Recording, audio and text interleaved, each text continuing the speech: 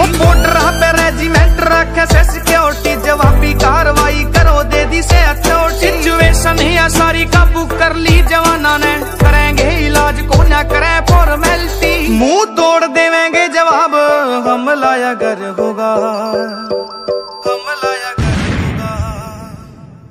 हो जब एलएस गाड़ी में मेरा, आखिरी सफ़र होगा।